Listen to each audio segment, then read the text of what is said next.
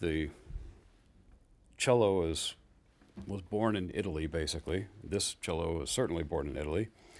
Uh, the bow comes from Brazil, and the best horsehair comes from Mongolia. It's funny, it's a world instrument in that way. This hair does not come from white horses, it comes from all sorts of horses. Horses, uh, the horsehair the, the tail. And uh, the reason it's white is because it's bleached.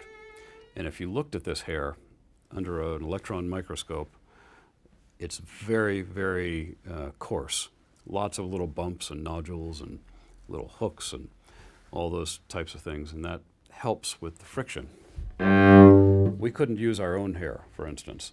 If we did, it would sound like that. It just wouldn't grip the string.